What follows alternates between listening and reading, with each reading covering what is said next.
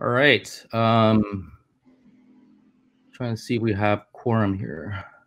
One second. Okay.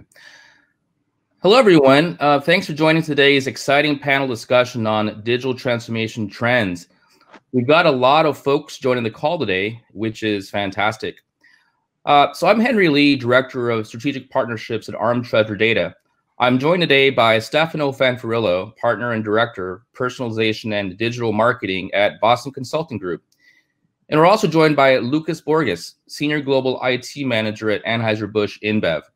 A recording of this webinar will be made available after the call. So digital transformation is something you've probably heard a lot of these days, but it's frankly a fairly broad term that means different things to different people. For this panel, we have a unique opportunity to explore digital transformation from the perspective of different players of the marketing ecosystem. So for some quick background, we've got Boston Consulting Group, more commonly known as BCG.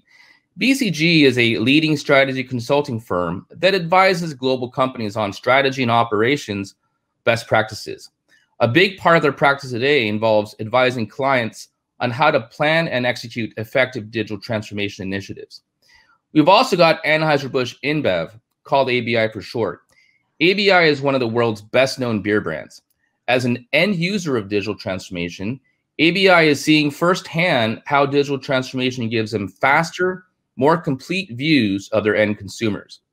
Digital transformation helps them deliver more personalized messaging, whether it's by social media, advertising, mobile, TV, and more. And last but not least, uh, ARM Treasure Data. We're an enterprise software company that develops customer data platforms, more commonly known as CDPs. CDPs help marketers collect, unify, analyze, and activate customer data so they can develop richer, more personalized experiences with each of their end consumers. As a software company, we are an enabler of digital transformation for our clients. Treasure Data was acquired by ARM in 2018. And if you haven't heard, ARM is one of the world's leading semiconductor design companies. 95% of the world's smartphones uses ARM technology, including the one you're holding in your hand right now. ARM designs a lot of chips that enterprises use to collect data, and Treasure Data creates platforms that help enterprises make sense of all that data. You can find out more about who we are in the attachments section of your BrightTalk screen below. We've been excited to work with both BCG and ABI in various digital transformation initiatives over the last few years. So without further ado, let's get started. So for the purpose of this discussion, let's first define digital transformation. What is it? So let's start off with a generic view. Roughly speaking, digital transformation is the use of quickly evolving digital technologies to solve business problems. Examples may include cloud computing, where users can leverage always on, always updated subscription based software instead of needing to manually update and maintain on prem software. Think of how DocuSign, Google Docs, Confluence, or Workday have digitally transformed the paper based workplace into a digital workplace. Digital transformation in the form of cloud based software has made knowledge sharing and collaboration across different time zones and geographies faster and more efficient. Digital transformation may also involve changing the cultural mindset of organizations. Outsourcing and automating processes to the cloud may sometimes be viewed as disruptive to existing business culture and processes. How might companies change the, comp the composition and skill set of their teams to reflect the changing needs of a more digitally transformative organization? So now that we've set the stage, let's dive in. So the first topic what does digital transformation mean to you and to your organization? I just provided one interpretation of digital transformation and would love to see hear from our panelists on how they view it. So let's start off with Stefano. How would you describe digital transformation based on organizations that you've worked with? thank you. Thank you, Henry, and uh, uh, thank you for having me here. Um, at BCG, we, we take a fairly broad enterprise view of digital transformation. Um, we think of the digital company of the future to what we call the bionic company, uh, where key outcomes are delivered through the combination of key technologies and human talent. So it, it's like a new paradigm, right? Powered by technology, harnessed by people.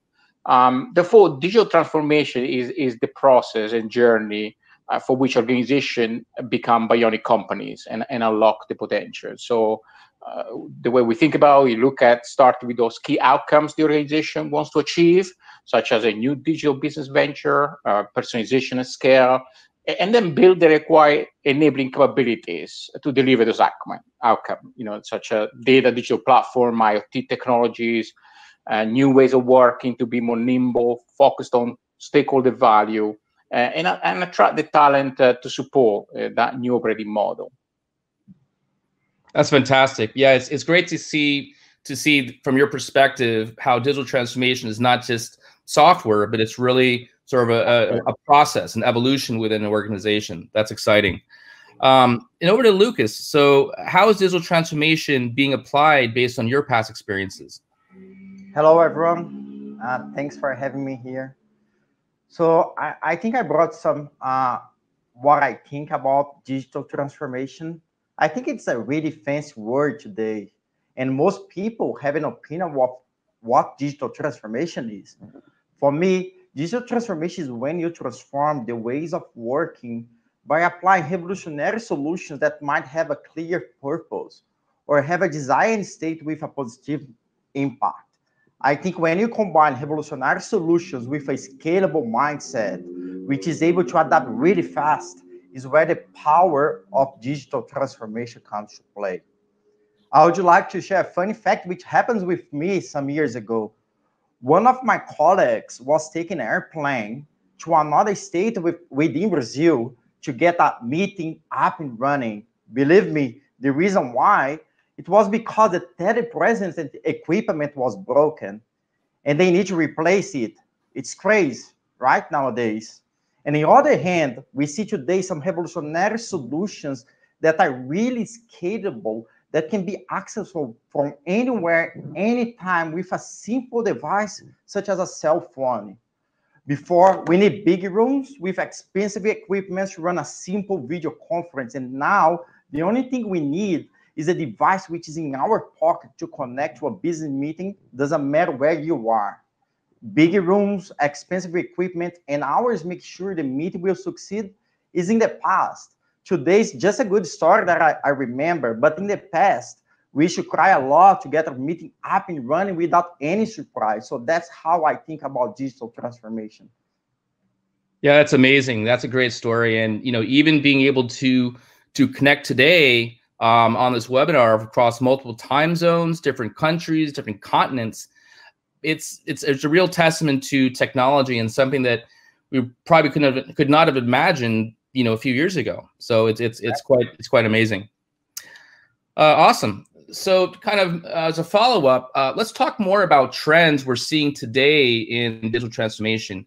What did digital transformation mean before uh, you know a few years ago and what does it mean today so to stefano as an advisor of business best practices to major global organizations how has digital transformation evolved over the years? What did it look like, say, five years ago, and what does it look like today? Um, that's a great question, Harry. Um, and, and, definitely, I've seen changes in the last few years when it comes to um, working with different organizations in, in digital transformation agendas. And if I think about it, uh, there are I, I would think about it in three dimensions for me: the, the scope, the scale, and the time frame. And, and, and let me unpack that for you. Um, so when it, when it comes to scope, a few years back, I would say typically there were department-led digital transformation agendas with very specific goals, specific uh, processes to digitize, such as e-commerce, for example. And so, relatively speaking, they were uh, somewhat, I would say, narrow focus. Again, relatively speaking. Um, if, if, if I look at digital transformation now, I, I think is is generally enterprise led uh, with the goal of digitizing the entire organization, and it's orchestrated across different departments and units. For example, it's about digitizing the entire marketing, sales, and service customer experience, not just the just the the e-commerce side, for example. So they're much broader initiatives.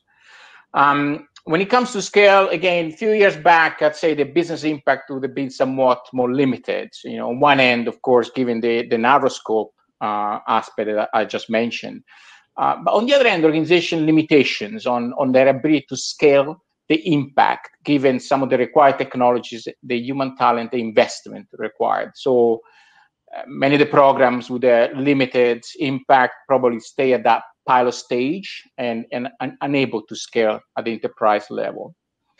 If I think about scale now, um, the outcomes of the, the, business organization is looking for digital transformation are, are much broader now.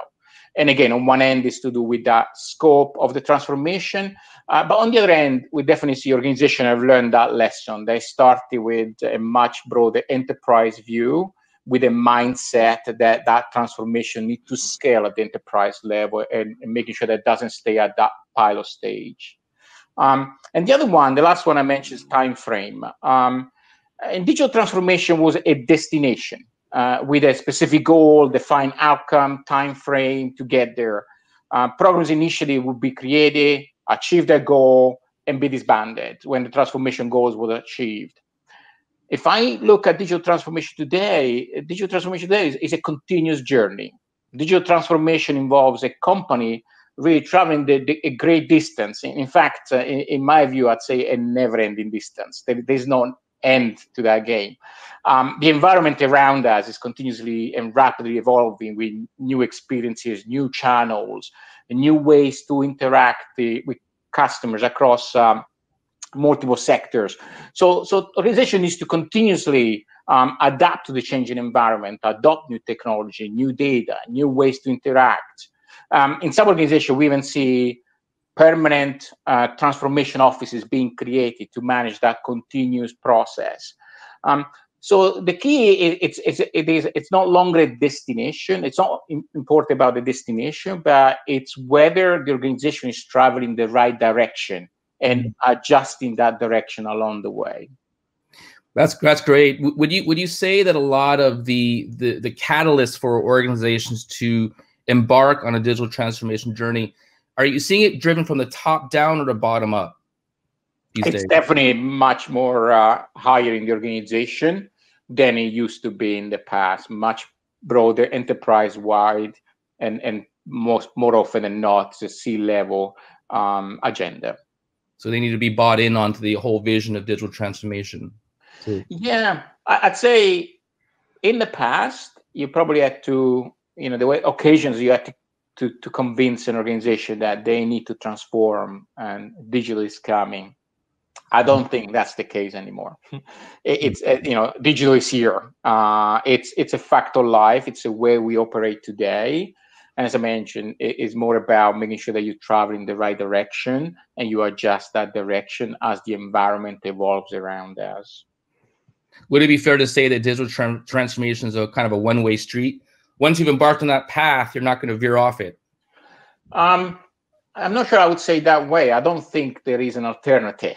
Mm, okay. it's just the way it is, right? And more yeah. and more uh, uh, experiences will be data driven, technology driven, will be digitized. So I don't think it's uh, it's it's it's the only way street. I don't know what the right word for that is, but I don't right. think it, I don't think it's an option. And, and companies, organizations know that. Fantastic. Great. Well, moving on to Lucas here. So, as a practitioner of digital transformation, uh, why has this been so important to ABI on a, on a strategic level over the last five years, and and how is ABI viewing digital transformation today? Yeah. So I'm gonna just would like to complement and adding our perspective on what Stefano was saying, right? So today, uh, I think it's a hot topic for every single organization doesn't matter what size you are. Hmm. And things that were counted as an expense before, for many people now, we are seeing with a good eyes now and treat it as an investment opportunity to grow the business. At ABI, we take it really seriously. We understand that if we combine good ideas with our passionate people, we can really make the difference. A good example is our infrastructure at ABI was re ready even before the pan pandemic exploded, right? And focusing on our employees, ABI was able to send all of all of our office employees around the globe to home, to their home during the quarantine period, and they're still there. So we were able to su support the business business running even from home, right? And it's a big thanks for our, our leadership, which is driving amazing agenda about digital transformation. Also, connect to that, we are getting digital transformation to support us during the pandemic. Our customers and the community, community using our mindset of transformation to the business in an agile way. Good examples that we have done is like we adapt our lines to produce from hand sanitizer to face mask shields without knowing how to do it. Mm. Through our consumers' donations, ABI mm. were able to support big time local pubs and restaurants. So answer to you, I think the big G, the, the digital transformation at ABI is driven by a good agenda and great routine from our people. That's great, and and it it sounds like you know ABI was very very forward thinking in terms of planning ahead. Maybe no one could have predicted this pandemic um, and and how it's affected people's lives, but because ABI was able to think ahead of the game, let's just say, was able to plan and uh, apply digital transformation early early on, you've been able to really kind of weather this this this pandemic, the stay at home culture, as you kind of mentioned. Uh, yeah. That's fantastic. Yeah, I think it's true because we have a culture in ABI that everything is, is not only top down, but it's bottom up as well. So I think everyone is, is embracing the company, the digital transformation, which is help us big time to be ahead of things as we are right now. That's that's amazing here. Uh, okay. Um, well, let's move on to um, our next topic here. Um, so we're getting some some questions coming in, and we'll probably kind of save that kind of uh, for for later on. But uh, you know, thanks to everyone for some of the, the feedback here. Um, all right, so let's shift gears a little bit and talk about specific verticals that are using digital transformation, in particular CPG companies. So, a goal of savvy marketers is to understand as much about their customers and consumers as possible. Developing a direct relationship is key, whether it's through social media, email, mobile, or events. Yet, for many CPG companies, it's been challenging to understand what their end consumers are doing. Most CPG goods like soda, laundry detergent, or cereal are still distributed through intermediaries like retail stores and supermarkets It's hard to see what your end consumers are thinking if the CPG company's not really there at the store. So, to Stefano, how are CPG organizations using digital transformation to better understand how consumers view their brands and products? What are some examples of digital programs and technologies they're using to establish a more direct to consumer relationship? Yeah, uh, it's, it's, again a great question. Uh, first of all, you you're absolutely correct, and uh, we have been seeing increasing importance and demand from uh, CPG companies to be able to leverage customer data to improve their marketing activities, in particular. It, certainly started in the digital media and digital identity domain, but given current changes in the ecosystem, uh, the attention has, has been shifting towards uh, that first-party customer data. And I'd say digital itself, in fact, has opened a number of opportunities for CPG companies to be able to collect and leverage customer data. Um, some example that comes to mind, and um, some CPG companies have built capabilities to deliver specific customer experiences to collect um, customer information and establish that direct consumer relationship. I mean, our research and experience shows that the consumers are open to share their information in exchange of values. So mm organization must build must build something that deliver value to the consumer. Uh, one example that comes to mind that I really like is my lawn app by Scotts, uh, the grass seed company. Mm. And you, if you use the app, you can plot the characteristics of your loan, like si- size, location, and they produce a loan maintenance schedule for you. And of course, they recommend their products as part of the loan maintenance plan. I, I, think it's a good exchange of value. I, I have no idea how what to do with my loan, but you know I use the app and and I literally print the picture and and and go to Home Depot and say, okay, I, I want this product. So works for both of us. Um, some companies are, are, taking this to the extreme and launch direct to consumer businesses. Hmm. Collecting data may not be the underlying goal driving this, right? Of course, there must be a, a, business opportunity behind it. But, but surely data is one aspect of doing that. Um, really recent example that comes to mind is, uh, for example, is Ready Refresh by Nestle. Uh, direct to consumer delivery of their products, uh, water, sodas, and so on, on a subscription model. Again, an opportunity to create a direct to consumer business, sell your products, and build uh, that customer relationship that to, enables you to collect data on the consumption. Um, another example is two or more companies coming together to share the data in a clean room environment. Uh, mm. We see that typically you would see a CPG company and a retailer coming together and, and kind of merge their data. Some of the key use cases uh, could be optimization of marketing co-op dollar, um, supply chain optimization, and so on. So uh, those are some of the um, examples I come across, but much greater interest in, in building the digital capabilities and the technologies from CPG companies to collect, store, leverage that data. Oh, those are some great examples. I'm, I'm sure the, uh, the, lawn maintenance app must be doing really really well uh, as everyone's kind of staying at home, and you you kind of got my you know my, my my mind working now. I might just have to download that app to see how I can manage my lawn. Um, but uh, no, but to your point, I, I totally agree. I, I think um, you know we we sometimes talk to our CPG clients, and and they're also echoing um, how they're employing different types of programs like mobile apps uh, or like DTC, direct consumer uh, type of initiatives. Um, you know, as a way to sort of better understand the mindset of of their consumers that they frankly don't see every day. Um, so that's great. Um, so to Lucas here, um, so ABI is one of the world's best known CPG companies. I mean, who has not heard of Budweiser? It's like everywhere. Um, yet, while consumers may know a lot about Budweiser, how much does ABI really know about their end consumer? And what are some ways ABI is using digital programs and technologies to better understand who's consuming your products? Yeah, I think that's a really great question, right? And I think one of the biggest challenge for a CPG company like us is really how to connect direct to consumers and how we can break this wall with them. Uh, and I think to support this mindset, ABI has been building our direct to consumer channels with loyalty programmers, our own brew pubs, and also much more like websites, digital webs, and, and, and so on. And then with all these data points that we have, ABI needs to have a way to connect all of these channels in a single database to, to understand a little bit more about our consumers. And where we'll be able to build a unified consumer understanding and have the opportunity to learn more about our consumers. Here at ABI, the CDP is our sing, single source of truth, taking talking about our consumer data.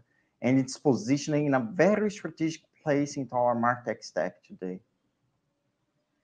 Oh that's that's that's that's great to hear. Um uh, just curious, but uh, so when you first embarked on on uh, getting a CDP to help uh, with your your customer journey, um, how is that played out, um, and and how do you see CDPs, uh, you know, helping ABI out over the next five years?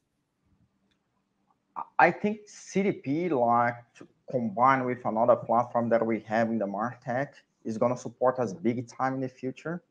I don't know how the world is going to look like in five years, but I see at least from the three years from now, I see CDPs being play a big role. I think before we were not able to connect all the data signals that we have within the company. And now with a CDP, we can connect all consumer signals into one centralized database for the entire company, right? So with that, we are able to apply all of our learnings and machine learnings and all the algorithms that we have to understand a little bit more about our consumers. And then once we find something that is interest for us, we can scale it very fast into our business, right? Having this centralization into a single place. Yeah, that makes a lot of sense. And again, it also echoes stuff that we're seeing from from our clients you know, a long time ago, people were excited about big data. They, everyone just wanted to get their hands on data. But what they realize is that you got to connect the dots. Data is not very useful unless you can connect the dots and make sense of all the different data sets.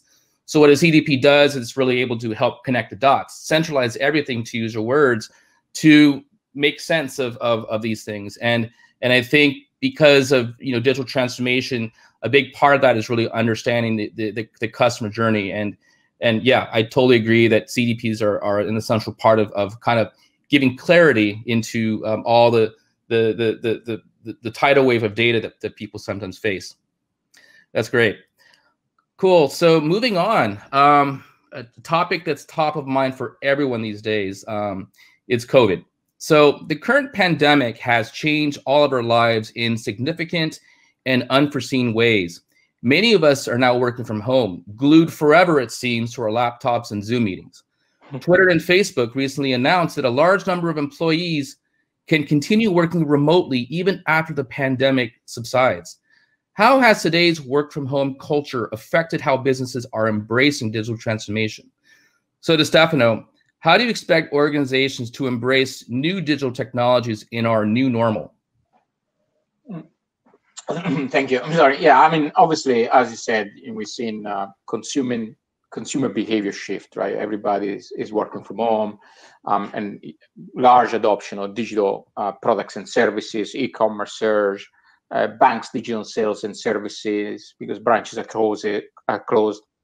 Excuse me, delivery services, telemedicine, Teladoc, and, and then adoptions or an expectation of safe operations as well. So we've seen uh, some uh, uh, large business changes in, in, in the ecosystem, right? I mean, some example, Amazon to hire 100,000 new warehouse and delivery workers, Instacart adding 300,000 workers, uh, banks across countries considering uh, which branches to close permanently, so deciding not to reopen them at all, uh, and so on. So um, companies, I mean, if I think about organization, they certainly have adopted, of course, a number of technology and, very rapidly to um, to uh, adapt to this changing environment. I mean, if I think about technology themselves, I mean, e-commerce and, and digital experience management is certainly something that uh, it, it surged. I mean, many conversation at the moment with organization around how to uh, improve, boost those capabilities.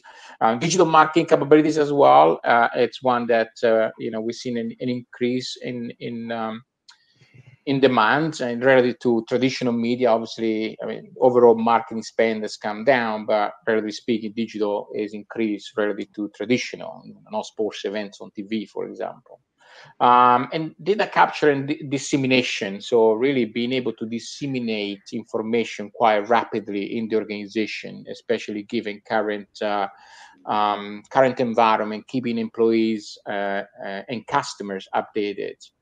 Um, if, if, again, if I think about this data signal as well, um, it's interesting. We see also demand from uh, uh, bringing together those external data signals uh, and merging them with internal data um, you know, somehow uh, many organizations actually go, you know, I, I, guess like everyone else, got caught a little bit off guard, given though that some of the signals were, were already there. Like you think about the out of stock items now, if you go to a store, many things you cannot find. And so there's definitely a great interest on uh, being able to now better leverage, leverage those external signals and bring them in and merge them with your internal signals internal data to manage better operations.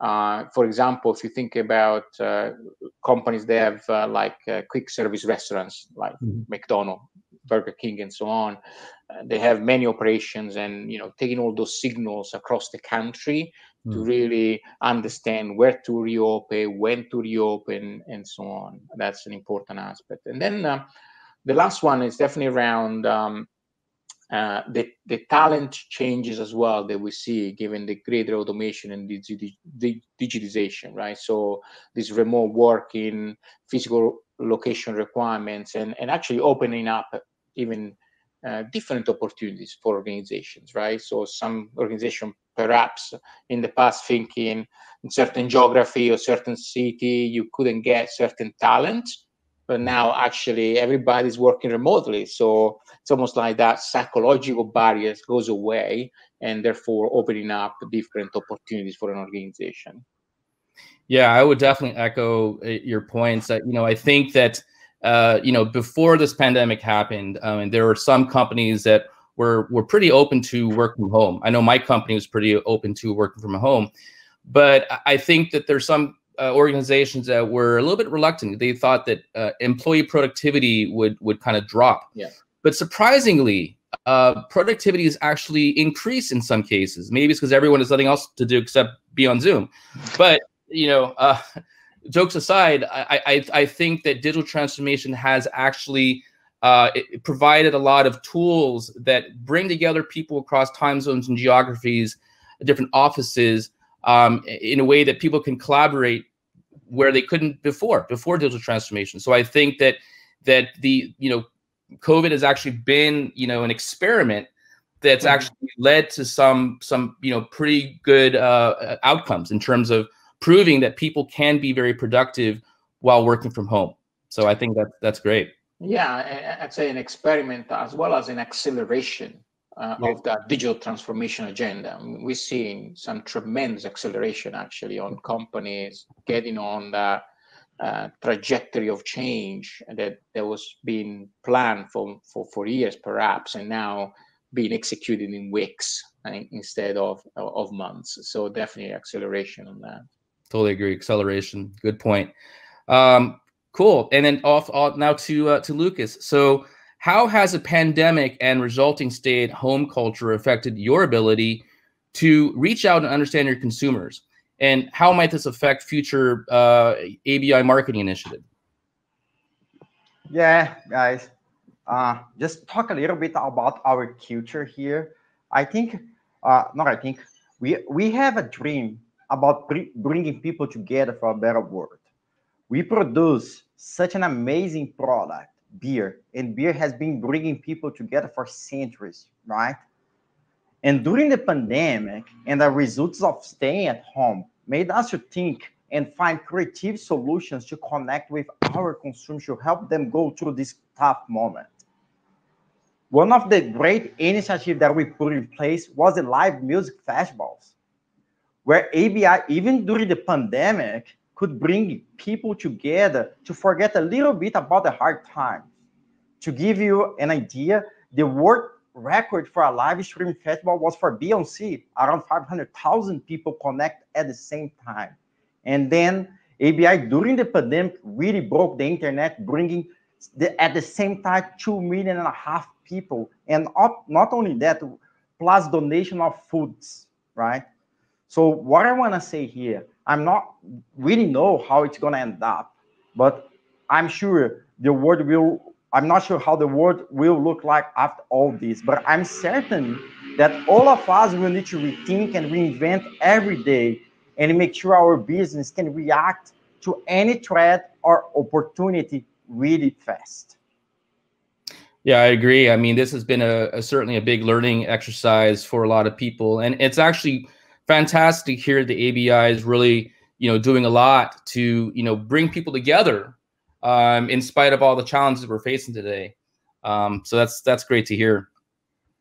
Um, okay, so uh, another topic about is the uh, the economic climate, the recession. So a result of the current pandemic is economic recession, which we're now uh, all experiencing. In past recessions, we've seen advertising and marketing budgets get slashed and we've seen new strategic programs uh, being put on hold. So we'll start off with Stefano. Uh, how has the current recession impacted digital transformation initiatives across organizations? What verticals have been affected the most, and what verticals have been least impacted? Yeah, I mean, obviously, um, the, the, impact from the crisis varied uh, significantly by sector, right? If you think about a surge in essential retailers like your Lowe's, Home Depot that's seeing record sales, to the other end of the spectrum, to a complete shutdown on non-essential retails like fashions and so on. Uh, travel and tourism highly impacted.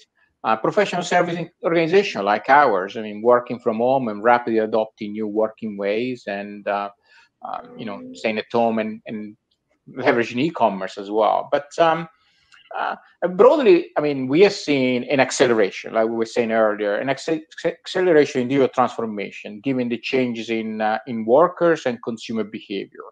So, for example, there is, you know, we've seen up to 25% overall e-commerce increase, right? Um, in, so some people used to joke, we've seen 10 years of change combined in, in a few weeks, right? What mm-hmm. took so much to get where we are today from a, a digital transformation perspective, we really made tremendous, many organizations have made tremendous amount of progress in just a couple of months. Um, consumers having to stay at home and, physical locations such as stores and branches being closed and new formats being piloted. So some of the initiatives we see, excuse me, obviously the surge in e-commerce transformation and service optimization uh, for many organizations Um, digital, as I mentioned earlier, digital media increasing relative to non-digital and the kind of optimization technology that comes with it. Um, omni-channel capabilities, again, another uh, major area. Click and collect, for example, buy online, pick up in store. Um, surge in uh, digital sales and servicing uh, from uh, financial services. Um, huge demand, huge area of transformation at the moment um, telemedicine for meds, med tech sector. Um, and another interesting one is uh, a B2B organization going B2C, uh, like, for example, restaurant suppliers that now uh, deliver and serve consumers and, and having to build the capabilities to support that, that change. And so overall, um, um, major acceleration on on digital pro- programs. And in some cases what we've seen what, what would have taken six months typically is now been done in six weeks. So really many organizations stepping up to the challenge actually and, and with that right focus being able to deliver. Um, the other aspect is there's also digital transformation related to the organization workforce and safe operations. So a lot of digital technology being introduced in there. Investment in digital technologies to enable safe restart uh, if you think about tracking and tracing, remote working, operations management, um, safe contactless interactions uh, through the use of digital for, for customers. So those are some of the areas we've seen, uh, um, you know, organization being very active. And, and then there are some companies that are looking also at the longer term uh, aspect of the impact. Um, you know, some of them we talked about, like the, the talent workforce strategies, for example will I have the same uh, type of resources that I have today if everybody's going to be working remotely? Remotely, what kind of new opportunities could be open to us? What kind of physical locations do we need to think about that we have today we may not need in the future, and so on. Well, that's great. You really touched on a lot of great things: e-commerce, telemedicine, B2B to B2C, safe operations, safe restart. It sounds like digital transformation, to your point, it's amazing how it's actually accelerating during when during times when, when things are slowing down you would think. Um, so you know sometimes people might imagine digital transformations being kind of uh, almost like a very strategic uh, kind of initiative.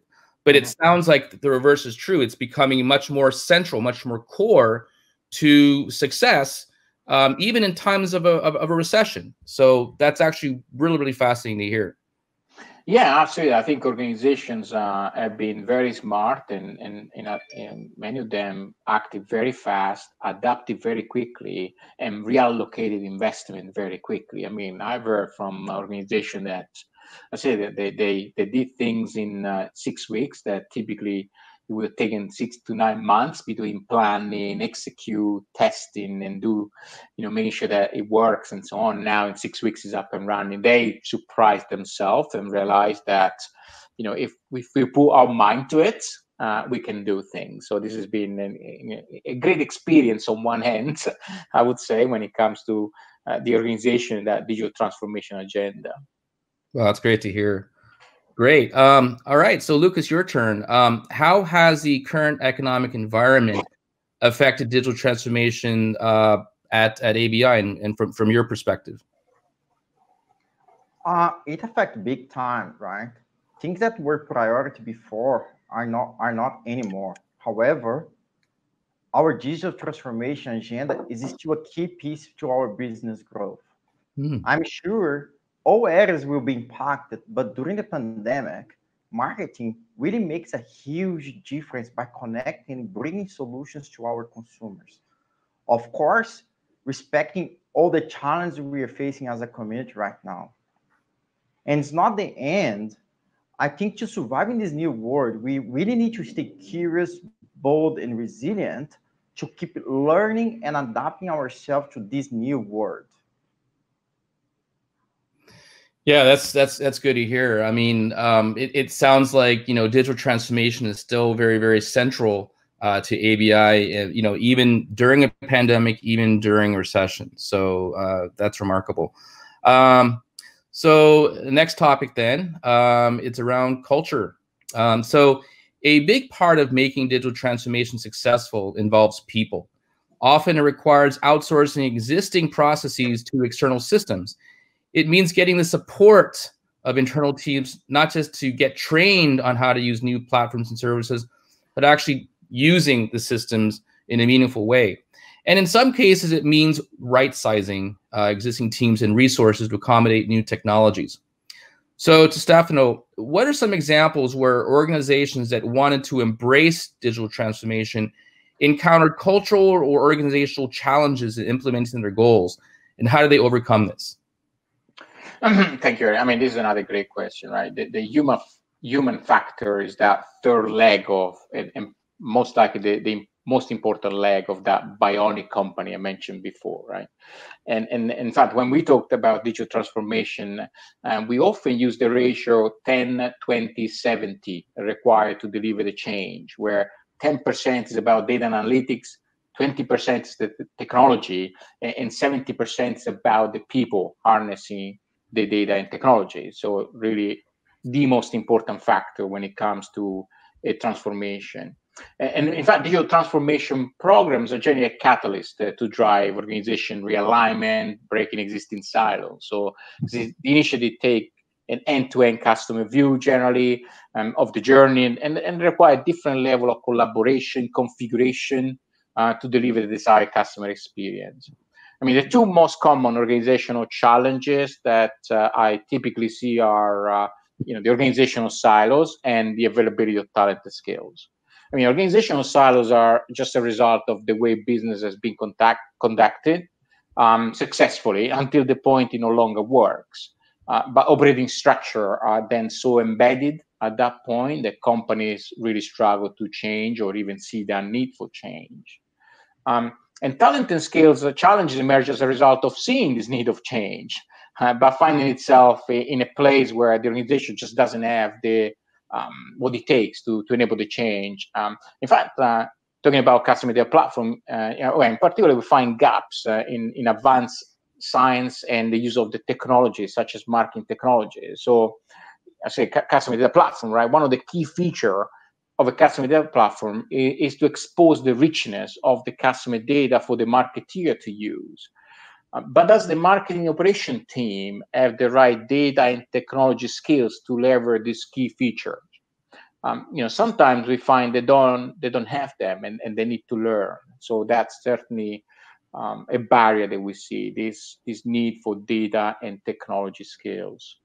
Um, we have seen a number of uh, strategy employed by to, to overcome those challenges right? Some of the the key ones uh, at the broad level you know obviously senior leader sponsorship or appointment uh, of a senior leader to drive that digital transformation agenda.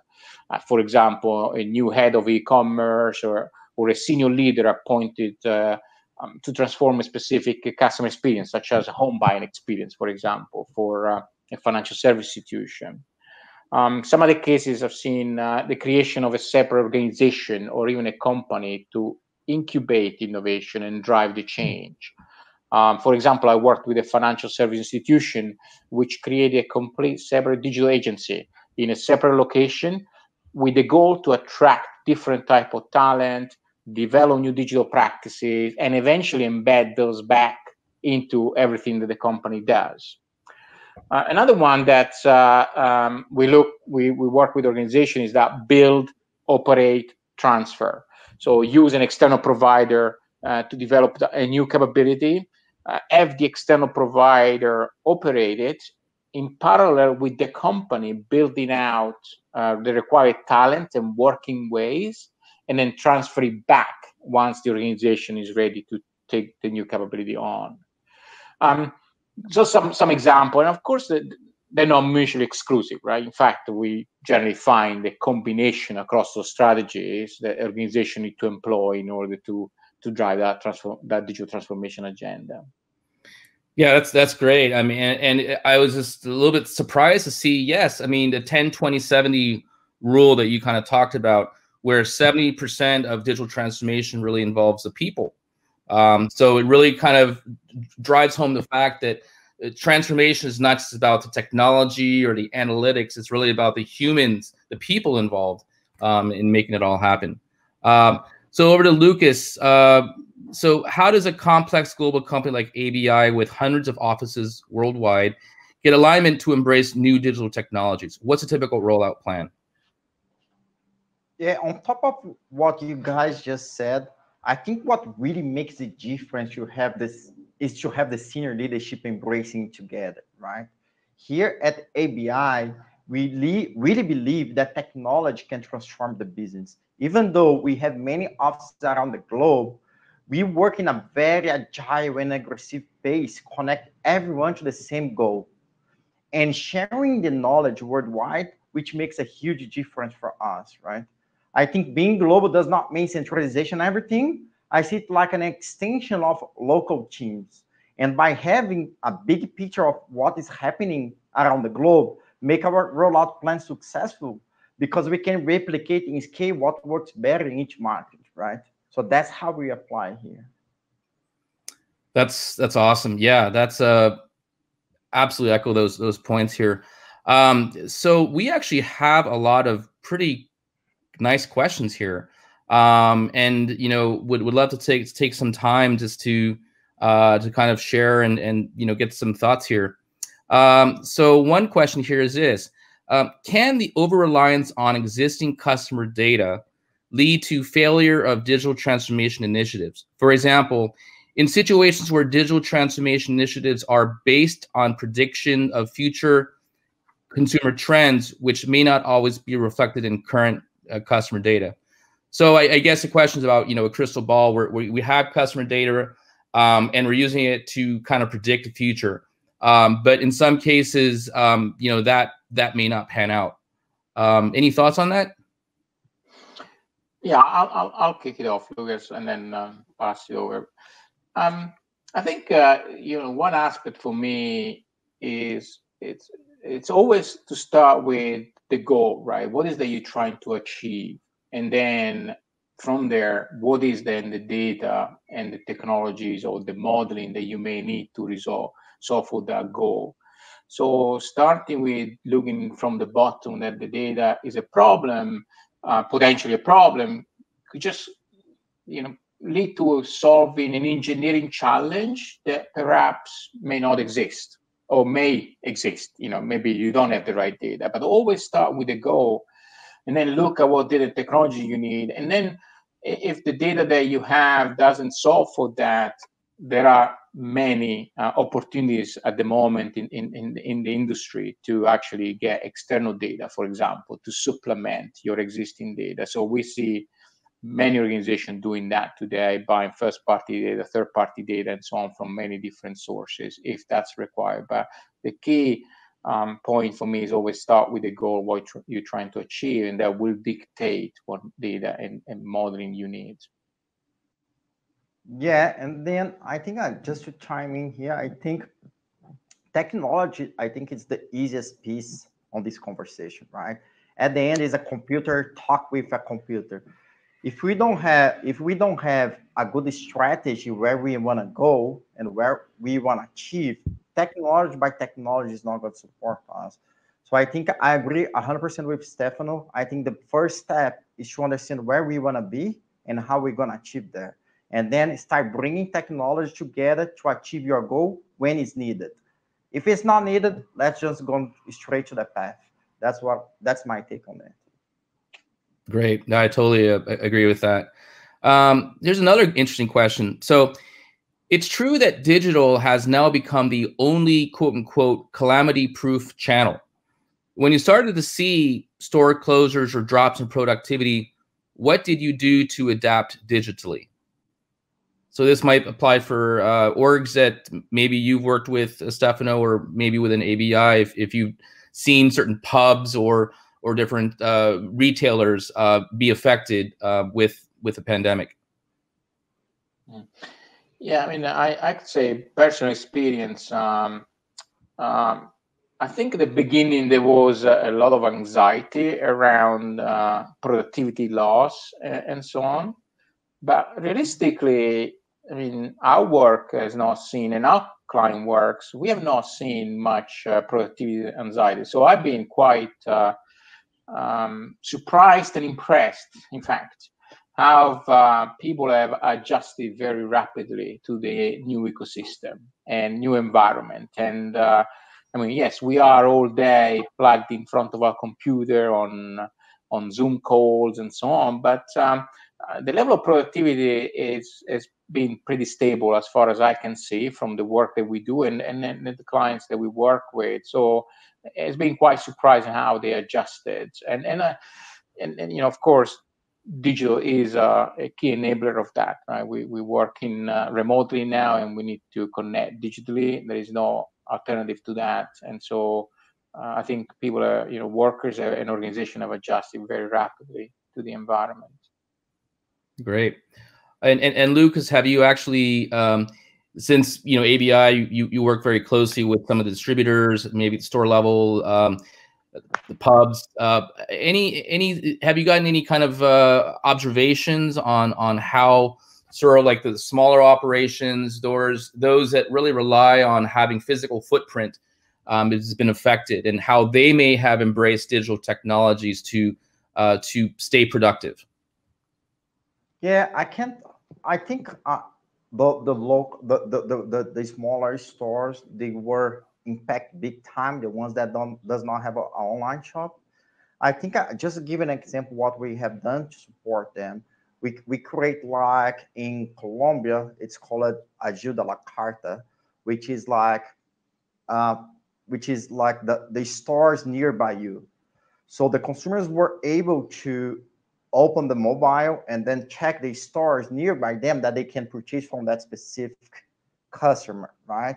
So we were supporting the customer big time uh, during the pandemic based on and the consumers as well because consumers was trying to look for something but everything store was closed how do i go right mm. so and then with the, their the, their cell phones they were able to open the, the map and see what are they store that could deliver uh, their products in their house so I think we could support them, but I think the other, in the other hands, we have seen some good example of people leveraging technology that already exists, right? So, for example, I, I have friends that they have their own pubs. They were using WhatsApp and mm. also Instagram to receive orders.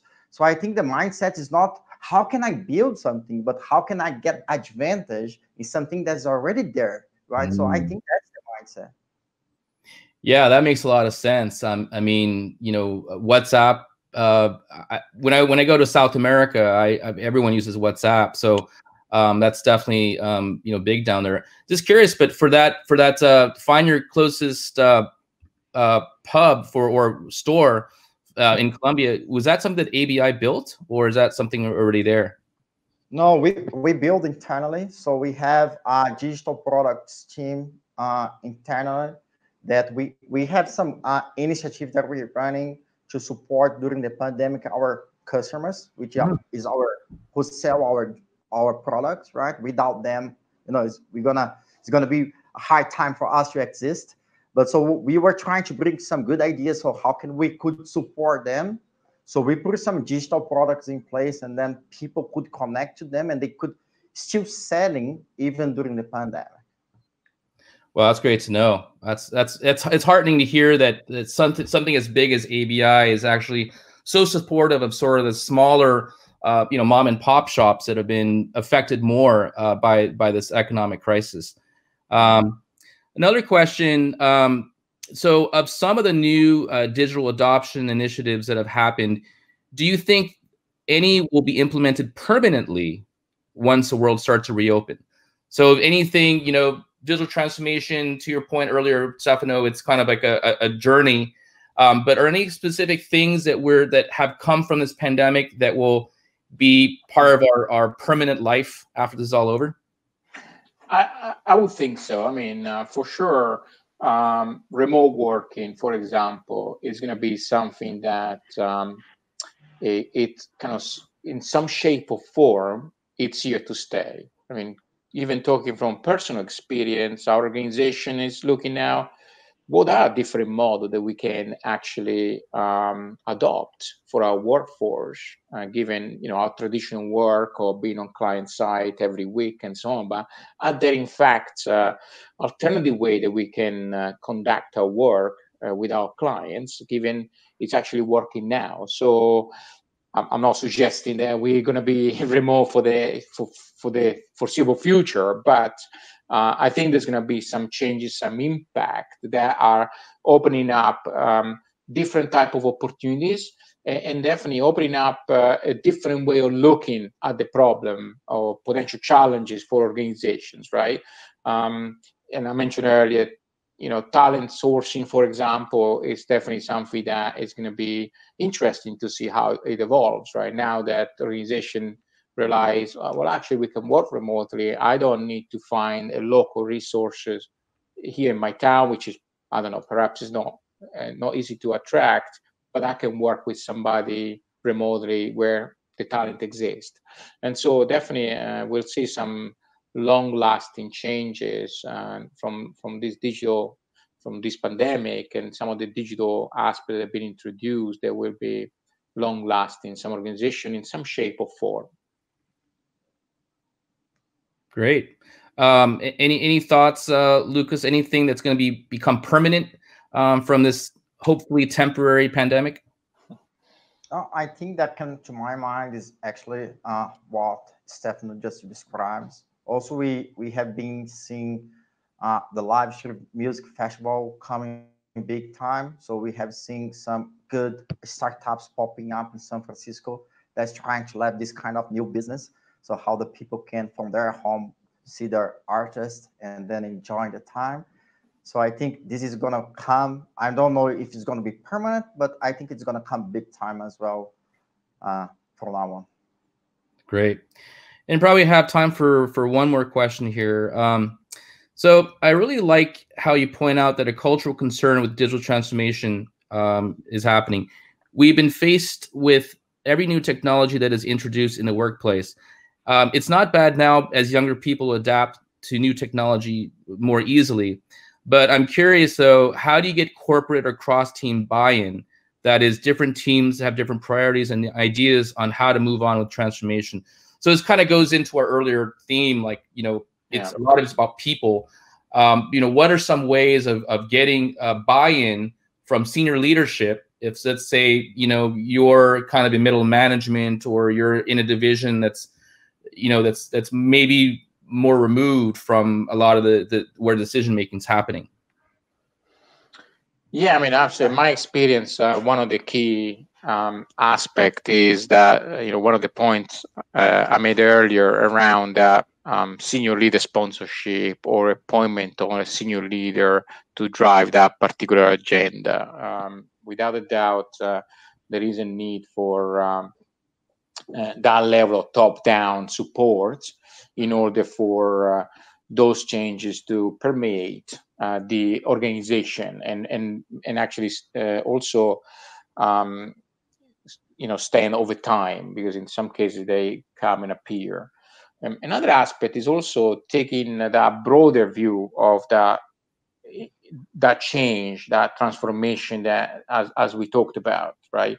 Uh, for example customer media platforms uh, given given our sponsor here um, you know sometimes I, I see companies that uh, tackling uh, those uh, those technologies perhaps with a, a, narrow focus, like maybe it's just about the data, or it's just about the analytics, or it's just about the activation, and so on. Instead of taking a, a, a broader view and, and, uh, of course, engaging a broader set of stakeholders in the introduction of that technology and buying into that technology.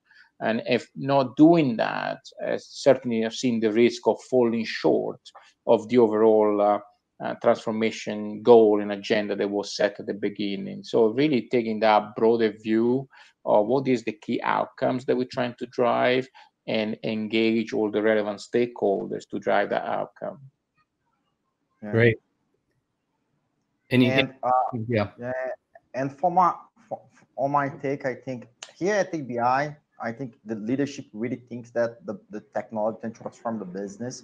So we have open doors there but I think one one key point that we need to think when we are talking about technology, right, is more like how we can make it simple I think simplicity is the key here. Like if you try to build something that is very complex, and then when you go to the user, you bring them this kind of book for them to read to use the platform, man, I think the chance of failure is like big.